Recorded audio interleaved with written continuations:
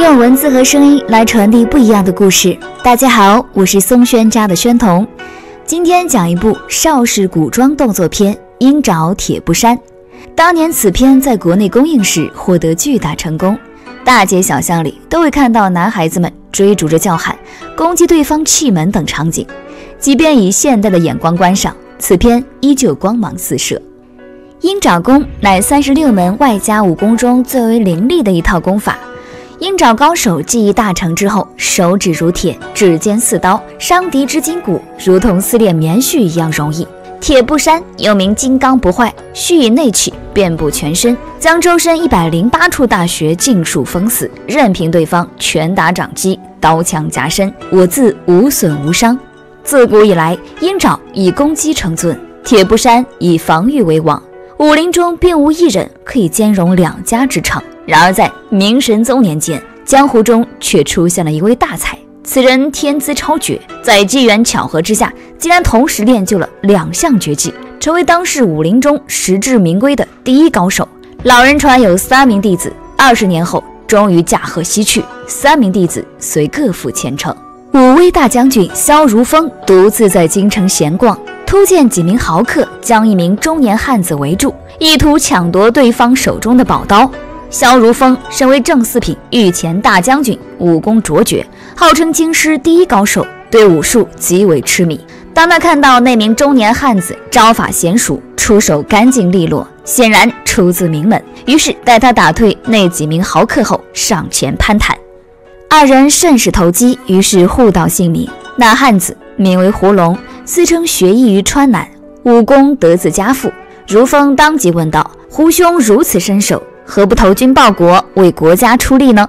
胡龙则表示自己无门无路，哪里会有人收留？萧如风笑道：“如今兵部尚书刘公公奉旨招募天下豪杰，扩充兵源，阁下何不跟我前去应征？以你的身手，自是前途无量。”胡龙大喜，于是跟随着萧如风来到刘府。刘公公身为兵部尚书，对武学亦是深有研究。他见胡龙根骨惊奇，身体强悍，于是起了爱才之心，道：“胡壮士，可愿意跟本府走上几招吗？”他见胡龙没有异议，于是出拳挥去。二人来来往往，战有三十余招，胡龙早已落入下风，被刘公公一掌击倒，身子翻滚了几圈后，就此不动了。刘公公一惊，急忙上前，他怕误伤好汉，急切之间，却不曾想那胡龙猛地一个龙跃于野。手腕倒转，手中那柄宝刀直插入刘公公心口。紧接着，他身形倒退，轻飘飘地飞上了墙头。萧如风惊惧之下，无心追赶，慌忙俯身查看刘公公伤势。可刘府卫士早已将他围在核心。领头侍卫高喝道：“大胆萧如风，竟敢行刺朝廷二品大员，给我拿了！”如风不愿反抗，他亲眼目击凶手就是胡龙，当然可以在刑部将此事说得清楚。可就在押解的路上，却有刑部官员手持刑部批文拦在半路。执行官一脸阴沉道：“罪犯萧如风暗杀兵部尚书刘醒，证据确凿，奉刑部尚书崔大人之命，特将此恶贼就地正法。”这人也不多说，挥手之下，工人们一拥而上，直奔萧如风而来。如风心下一凉，暗道：刑部竟然不设公堂，定是怕我在堂上说出真情。看来此中另有秘密。既是如此，如风怎能束手就擒？他将身躯一扭，双腿旋转之下，将身边的差人踢开，随后借力飞上了路边的屋顶，一转眼已经不见。刑部尚书崔汉年近七十，可精力十足。他眼中寒芒四射，喝道：“已经三天了，你们这些废物连一个萧如风都抓不到，还想不想要脑袋了？速去陇西调沈月进京。”近五年。刑部最棘手的十三宗大案，均是由沈月破获。此人办事效率之高，洞察力之强，早被整个大明官场所称道。秦岭大巴山地势险恶，萧如风踏着稳定的步伐，沿着鲜为人知的蛛丝马迹，追寻着胡龙的下落。他好像一只机警的猎犬，已经感受到猎物就在不远的地方。果然，胡龙就在不远处，长风镖局之中，在西北一带。胡龙人脉极广，长风大镖头拍着胸脯担保，定会让来人尸骨无存。七宝客栈一场大战，萧如风以一敌百，挑了长风镖局，并在野猪岭追上了胡龙。胡龙武功远不及如风，且胆怯之下更是畏手畏脚，没出十招已被如风擒获。萧如风将手搭在他的肩膀上，道：“跟我回刑部对质。”可就在这时，一道红影自天而降，沈月已到近前。他一招击退萧如风，却并无得意，依旧面无表情地说道：“刑部沈月，你二人跟我走。”他说话就如办案一样简练而准确。萧如风也听过沈月之名，如果真的可以当堂对证，他倒也愿意回去结案。然而就在这时，于荒草之间突然窜出一人，此人白发青袍，身形犹如鬼魅。眨眼间已到如风身前，竟向他喉头抓去。罡风习习，如风急闪躲间，将将避开了这致命的一击。却听胡龙在一旁高喊道：“师傅，快点救救徒弟呀！”这老者竟是胡龙的师傅。看来案件的背后并不简单。老者双掌如鹰爪，招招致命。沈月眼见如风不敌，则挡在老者身前道：“此人是刑部要犯，你无权杀他，还不速速离开！”老者又遇强敌，只能专心对抗沈月。趁此机会，胡龙和萧如风先后脱身。老者并不愿和刑部结仇，虚晃一招，跳出圈外，转身投入荒草之中。土窟之中，胡龙正在祈祷，忽听背后有人喝道：“孽徒，你竟敢刺杀当朝大员！今日若不是我救你，你早已被押送刑部了。”胡龙双膝跪倒，哭道：“徒弟多谢师傅救命之恩。”雇主答应过我，事成之后会有重谢的。那老者冷哼了一声，取过一支毛笔，在手心上写了一个名字，道：“雇主是不是这个人？”胡龙在师傅的逼视下不敢撒谎，他惊讶地点了点头，道：“您老人家怎么知道的？”老者呵呵笑道：“为师下山一趟，在我回来之前，你千万不要离开此地，否则连我也救不了你了。”再说萧如风逃亡多日后，来到了一个小镇。口中着实饥渴，于是敲开了一个房门。院中一位少年正在练武。江湖人家性格豪爽，见有生人遇难，都愿意慷慨相助。少年送上清水，然后和如风闲聊起来。就在这时，小镇上的恶霸牛二寻到此间。他听说少年的姐姐年轻貌美，于是想试图非礼。如风怎能见危险而不救？他轻轻几下，早已解开危局。可争斗中却发现，刚刚练武的少年身手确实不凡，特别是那一身的硬功，简直如刀枪不入一般。恶霸走后，如风不解，上前询问。姐弟两个对如风很有好感，也不隐瞒道：“我们的爷爷名叫石天琼，当年拜名师，学的鹰爪拳和铁布衫两项神功。可他的师弟却想独霸天下，于是，在酒菜中下毒，毒害了爷爷。”家父为报此仇，寻找仇人三十年未果，临死前将铁布衫秘籍传给我二人，并让我们继承他的遗志，练成武功替爷爷报仇。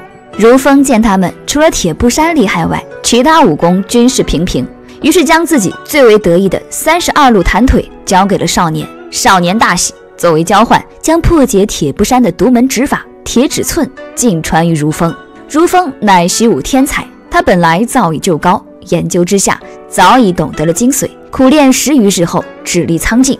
虽然无法击破铁布衫的防御，却可以通过手指的攻击找到铁布衫的气门。秦岭脚下的一所客栈中，刑部尚书崔汉自外走入，忽听在阴暗处有人低声道：“师弟，你身为二品大员，却私自离京，有什么事情需要你亲自出手呢？”崔汉知道来者是谁，于是冷冷地说道：“师兄。”你我二十年未见，看来你身体倒也硬朗。来人正是胡龙的师傅，他直入主题道：“你利用我徒弟杀了刘公公，并嫁祸给萧如风，如今你是想来杀人灭口吧？可你要知道，他背后还有一个师傅。”崔汉头也不回地说道：“我只知道他师傅并不是我的对手。”二人凝视良久，白发老者话锋一转道：“我想和你做一个交易，三日后午时，我将胡龙。”绑缚在青龙岩的村口，作为回报，你推荐我做一个正三品的官职，应该不难吧？崔汉不到万不得已，也不愿意跟这个武功只比自己略低一点的师兄翻脸，于是点头答应。青龙岩下，胡龙被绑缚了双手，倒背在一根树桩上。崔汉已经走了过来，山风吹动着他雪白的胡须。刑部尚书眼中闪过一丝恶毒的光芒。伸掌向胡龙的天灵打来。哪知胡龙忽然能动了，他的手里不知何时多了两柄利刃，双刀齐出，已经刺中了崔汉的咽喉。他师傅早已嘱咐过，崔汉铁布衫的气门就在喉头，他在等待着对方的死亡。当今天下也只有他胡龙可以连杀兵部、刑部两位尚书。然而崔汉只是退后了一步，却并无大碍，高举的手臂依旧落下，大力鹰爪手无坚不摧的指法。胡龙顶门受到重创，当即死亡。可临死之前，却扯下了崔汉腰中的玉牌。胡龙的师傅再想搭救，已是不及。他恨恨地说道：“没想到你的气门被你转移了，可我依旧能试得出来。”师兄弟二人再一次展开了殊死搏斗。前一次还是在二十年前争夺鹰爪王时，崔汉技高一筹，打伤了师兄。这一次，二人各自修炼。崔汉转移了气门，并且又偷偷地练习了一种绝技。他稳操胜券，却不想让师兄再一次逃脱。于是崔汉故意接连卖了几个破绽，把百会、太阳、结喉、极拳四处大穴让师兄击打，却双手护住了下阴穴。白发老者猛地眼前一亮，突然着地滚去，探手正抓中崔汉的下阴之处，鹰爪握紧，这最后一处死穴定是气门。他在等待着对方鸡蛋碎裂的声音，然而手心一空，却什么都没抓到。一直到死，他都不明白为什么师弟没有了气门。难道铁布衫再无破绽？崔汉已经成为了一个不死之人吗？当萧如风遇到沈月后，来到了这里，他们只看到乱岗上的两具尸体。胡龙手中的那块玉牌，让沈月明白了真相。在崔汉的临时行宫中。萧如风和沈月联手大战刑部尚书，崔汉鹰爪无往不利，铁布衫没有一丝弱点，已成为了必胜之局。可沈萧二人毕竟是当今人中龙凤，顽强抵抗，一时半会儿并无性命之忧。崔汉不愿再费气力，于是故伎重演，将周身穴道均暴露在外，任凭萧如风攻击，唯独护住了夏阴雪。如风目光锐利，立刻发现了问题的关键。绝顶高手的反应完全一样，萧如风也是着地一滚，翻到崔汉身后，伸手抓去。然而五指着处却空空如也。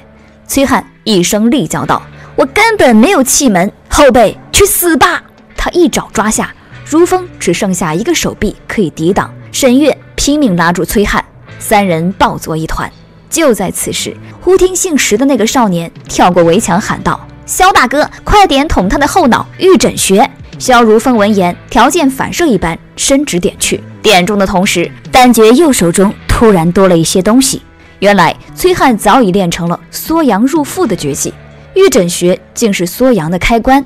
双蛋尽碎，一代天才、野心勃勃的鹰爪铁布衫传人就此命运黄泉，移穴之法和缩阳神功就此失传。全篇完。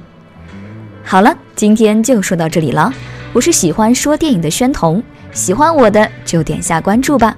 公众号上还有本期文案，喜欢看文字的小伙伴请扫码加入，将会带给你不一样的心得体验与人生感悟。